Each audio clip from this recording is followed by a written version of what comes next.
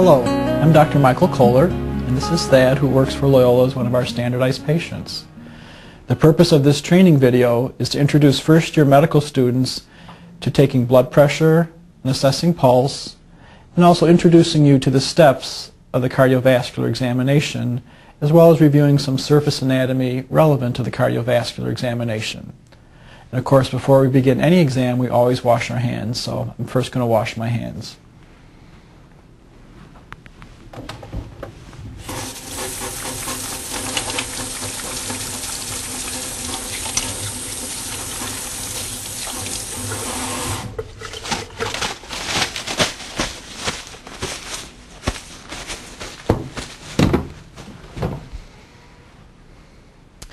Let's first review the four factors that influence arterial blood pressure.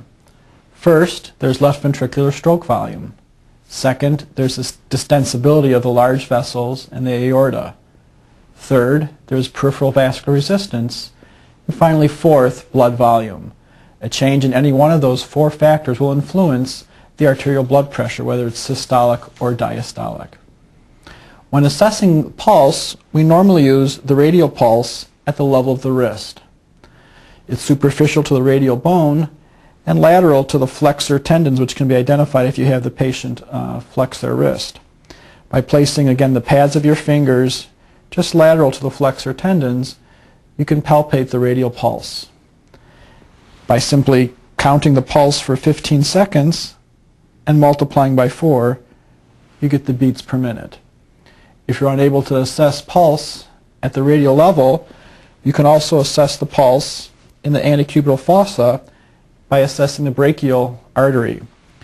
If you ask the patient to make a muscle, you can identify the biceps tendon. Then when they relax, just put your fingers, pads, medial to the biceps tendon, and you can identify the brachial artery and take the pulse there. Finally, you can also assess pulse uh, by assessing the carotid artery in the lower third to lower half of the neck by simply placing your finger pads just medial to the sternocleidomastoid muscle. You'll note when you take the pulse, the symmetry of the pulse. Uh, when you're assessing radial artery pulse between the right and the left side, there should be a symmetry and you should feel both pulses simultaneously.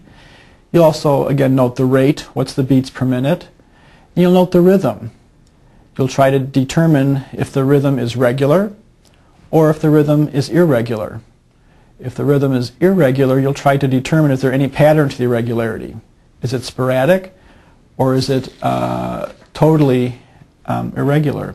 And by that I mean, is every third beat come early? Is there a pattern?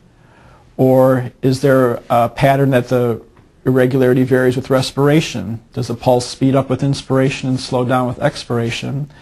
Or finally, is there no pattern whatsoever, in which case the pulse would be irregularly irregular, and that's always an indication of atrial fibrillation. If the pulse is irregular, you need more than 15 seconds uh, timing to assess the pulse. In fact, if you're not sure, you may need to check the pulse for a full two minutes.